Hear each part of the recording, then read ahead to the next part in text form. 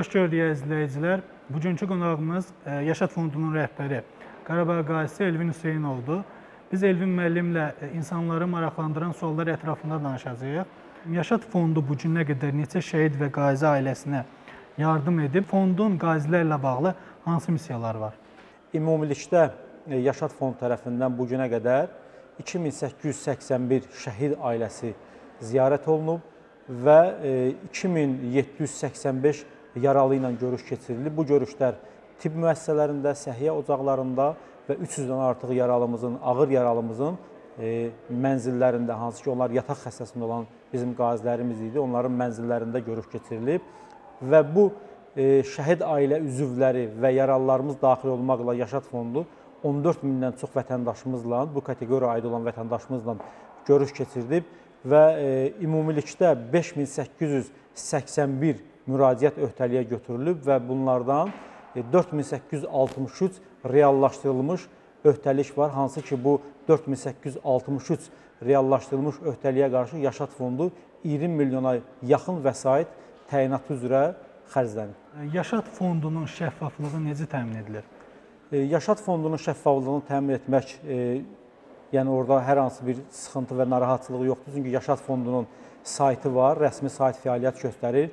yaşad.gov.az saytı vasitəsilə dünyanın istənilən nöqtəsindən istənilən şəxs bu sayta daxil olub e, Yaşad Fondunun hesabatlıq bölməsində e, həmin vəsaitlərin hansı istiqamət üzrə xərcləndiyini, kimə xərcləndiyini, hansı qazimizə xərcləndiyini, hansı şəhid ailə üzvümüzün hansı problemi üzrə, yəni xərcləndiyini, yönəldiyini biz orada rahat bir şəkildə görə bilirik.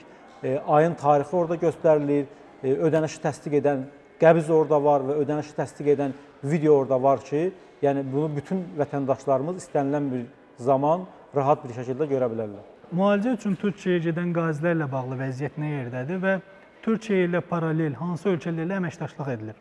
Bilirsiniz ki, e, Yaşad Fondunun 4 fəaliyyət istiqaməti var və o fəaliyyət istiqamətlərindən biri də tibb istiqamətidir.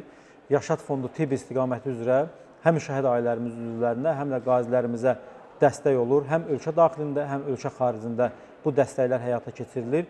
E, ölkə xaricinə biz qazilərimizi o halda müalicəyə göndəririk ki, biz e, səhiyyə qurumlarından biz həqiqətən də təsdiq alırıq ki, bizim bu qazimizin müalicəsi bizim ölkəmizdə mümkün deyil və onun üçün biz e, ölkə xaricinə göndərmək lazımdır. Hal-hazırda biz ölkə xaricinə göndərdiyimiz qazilərimizi qardaş Türkiyə Respublikasına göndəririk. Burada e, göndərməyimizin səbəblərindən biri odur ki, bizim qazilərimiz Türkiyədə özlərini yad hesab etmirlər, yad hiss etmirlər. Sanki öz doğma məmləkətlərindədirlər və Türkiyənin Azərbaycana olan münasibətini hər kəsə bəllidir. İkinci bir nüans ondan ibarətdir ki, biz Türkiyəyə göndərdiyimiz qazilərimizlə bağlı Türkiyə tərəfindən bizə bu qazinin müalicəsi, əməliyyatı Türkiyədə mümkün deyil kimi bir ifadə, bir söz bizə deyilməyib ki, biz digər dövlətlərlə bağlı e, danışıqlara başlayaq. Hal-hazırda bizim bütün göndərdiyimiz qazilərimiz Türkiyədə müalicəsi uğurla davam etdirilir və Yaşad Fondu tərəfindən bu günə kimi 76 ağır yaralı olan qazimiz Türkiyə Respublikasına göndərilib. Onlardan 9 nəfəri ölkəmizə geri qayıdıb hal-hazırda 67 qazimiz Türkiyə Respublikasında müalicəsi davam etdirilir. Yaşad Fondunun əhatə dairəsi genişlənə bilərmi? E, hal-hazırda Yaşad Fondu 4 fəaliyyət istiqaməti üzrə öz fəaliyyətini davam etdirir. Bunlar e, məişət şəraitinin yaxşılaşdırılması, istehlak kreditlərinin ödənilməsi, təhsil və zəruri tibbi xidmət üzrə. Yəni 4 fəaliyyət istiqaməti üzrə Yaşad Fondu öz fəaliyyətini davam etdirir. Məhz 27 sentyabrdan sonra bizim dünyaya gələn şəhid övladlarımızla bağlı olan layihədir ki, hansı ki bizim həmin o şəhid övladlarımız heç vaxt öz atalarını görməyəcəklər. Onlar bu dünyaya gələrkən artıq atasız dünyaya gəliblər. Çünki onların atası bizim hər birimizin fəxrimiz, Azərbaycanımızın fəxri olan şəhidlərimizdir. Onlar bu məmləkət üçün öz canlarından keçiblər. Və biz də bu layihə çərçivəsində körpəmizin, yeni dünyaya gələn körpəmizin ilkin xərclərinin qarşılanması üçün ananın hesabına 1000 manat vəsait köçürdürük və həmin dünyaya gələn körpənin adına isə bankda depozit hesab açılır. Yaşad fondu tərəfindən 5000 manat vəsait köçürülür və o 5000 manat bizim körpəmiz 18 yaşına çatana qədər onun faizləri hesablanır və 18 yaşına çatandan sonra şəxs həmin vəsaiti götürüb istədiyi istiqamət üzrə xərcləyə biləcək. Müəllim, Yaşad fondunun bölgələrdəki fəaliyyəti necə tənzimlənir? regionlarda bizim asan xidmət mərkəzləri və asan həyat kompleksləri e, fəaliyyət göstərir. Biz asan xidmət mərkəzlərinin əməkdaşlarını bu işə cəlb etmişik və onların dəstəyi ilə, onların yaxından olan e, köməkliyi və dəstəyi ilə regionlarda olan fəaliyyətimizi tənzimli və idarə edirik. Biz bilirik ki, bu cür işlərdə hər kəsi razı salmaq mümkün deyil. E, müşahidələrimizdə narazılıqları da görürük. Bu narazılıqların qarşısını almaq üçün hansı addımların atılmasını labüd hesab edirsiniz? Yaşad fondunda çalışan əməkdaşların böyük əksəriyyəti, mütləq əksəriyyəti məhz qazilərimiz və şəhidlərimizin övladlarıdır. Hansı ki bizim əməkdaşlarımızdan qazilərimiz var ki, bir həftə komada qalıb, ayağı amputasiya olunmamaq üçün 23 dəfə cərrahi əməliyyat olub. Eyni zamanda bizim əməkdaşlarımızdan var ki, 2 yaşında, 2 yaş yarımlığında öz atası şəhid olub, 92-93-cü illərin şəhidlərin övladları bizdə çalışırlar. Yəni bizim əməkdaşlarımız bu ailələrlə hansı şəkildə danışmaq lazım olduğunu, kommunikasiyanı, ünsiyyəti hansı şəkildə qurmaq lazım olduğunu çox gözəl bilirlər. Niyə görə? Çünki bugünkü situasiyada, bugünkü durumda olan şəhid ailələrinin və qazilərin yaşadığı problemləri birbaşa öz həyatında yaşayan insanlardır. Yəni ona görə bizim həmin ailələrlə ünsiyyətimizdə, kommunikasiyamızda hər hansı bir düşünmürəm ki, böyük e, bir problemimiz olsun.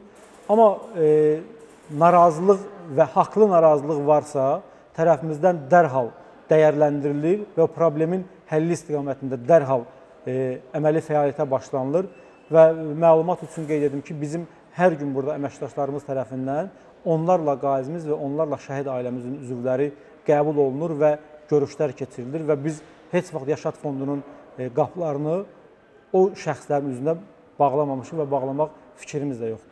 Biz görürük ki, Yaşad fondu ilə yanaşı sosial şəbəkələrdə də ianələr toplanılır. Bu nə ilə bağlıdır? Bilirsiniz ki, Azərbaycan xalqı yardımsevər və qədirbilən xalqdır və yəqin ki, hər kəsin xatırladığı bir zaman ola bilər ki, Yaşad fondu yaradılmamışdan qabaq, yaranmamışdan qabaq e, sosial şəbəkələr vasitəsilə hər kəs biri-birinə dəstək olmağa çalışırdı. Çünki bu Azərbaycan xalqının e, belə deyək də, genetikasında var bu yardımsevərlik, xeyirxahlıq və Yaşad fondunun yaranma səbəblərindən də biri o oldu ki, e, cəmiyyətin bir çağırışı oldu və cənab prezident bu çağırışa e, müsbət reaksiya verərək Yaşad fondunu yaratdı. Yaşad fondu yaranandan sonra artıq bu yardımlar mərkəzləşdirilmiş bir şəkildə həyata keçirilir və e, yardım edən, iyanə edən şəxslər də etdikləri iyanənin hansı istiqamətə, hansı təyinat üzrə xərcləndiyini Yaşad fondunun saytının hesabatlıq hissəsində görə bilirlər. Əgər ki, hal-hazırda da bu günləri sosial şəbəkələrdə e, kimlərsə hansısa e, ehtiyacı olan şəxslərə yardım kampaniyası edirsə, onun Yaşad fondunun fəaliyyətinə hər hansı bir maneçiliyi yoxdur və Yaşad fondu onların da fəaliyyətinin e, qadağan olunması ilə bağlı bir e, belə deyək də çağırışda bulunmur. Yəni hər kəs nə etmək istəyirsə, yəni yaxşı niyyətə biz heç vaxt yox demirik. Əsas maliyyə dəstəyi haradandır və ən çox maliyyəni hansı qurum və ya şirkət ödəyib? Bir də maraqlıdır ki, dünyada yaşayan Azərbaycanlı iş adamlarına fonda yardım edən olubmu?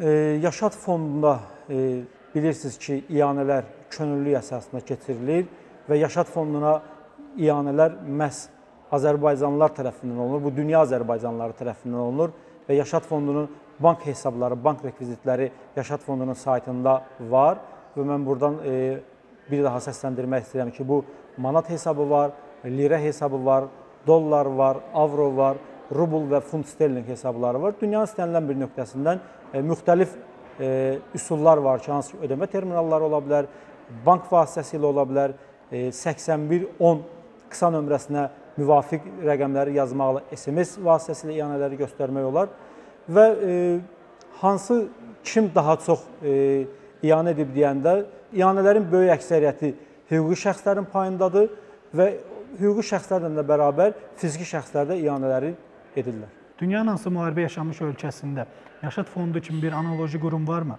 Qardaş Respublikasında kifayət qədər savaşların olduğu bir respublikadır və onların tarixən türklərin tarixi savaşçılıq, müharibə, döyüş ənənələri ilə zəngindir və e, Türkiyə Respublikasında fəaliyyət göstərən fondlar var ki, onlar ona vakf deyirlər. Onların e, hətta belə də vakf mədəniyyəti Osmanlı dövrünə qədər gedir, çıxır və biz həmin Türkiyədə fəaliyyət göstərən, Türkiyə Silahlı Qüvvələrinin tabeçiliyində fəaliyyət göstərən 4 e, fondla e, Türkiyə Respublikasında görüş keçirdik və e, qarşıdakı günlərdə də onları Azərbaycana dəvət edəcəyik və həmin fondlarla bizim düşünürük ki, niyyət protokolları imzalayaq və qarşılıqlı fəaliyyət göstərək və onların təcrübəsini biz tətbiq edək, bizim təcrübəmizi onlar tətbiq etsin və qarşılıqlı şəkildə fəaliyyətimizi davam etdirək. Yaşad fondunun fəaliyyəti nə zamana kimi nəzərdə tutulub? Yəni bunun üçün müəyyən bir zaman varmı, yoxsa daimi olacaq? Yaşad fondunun şüarı bilirsiniz ki, e, qələbəni bizə yaşadanları yaşatdı. E, Qələbəni bizə yaşadanları yaşatmaq üçün Yaşad fondu özü yaşamalıdır. E, Yaşad fondunu da yaşadacaq bütün dünya Azərbaycanlılarıdır və Azərbaycan xalqı ayaqda durduqca, Azərbaycan xalqı var olduqca Yaşad fondunu yaşadacaq və Yaşad fondu da şəhid ailələrini, müharibə əlillərini, bir sözlə qələbəni bizə yaşadanları yaşadacaq. Elvin müəllim, fikirləriniz və vaxt ayırdığınız üçün təşəkkür edirəm.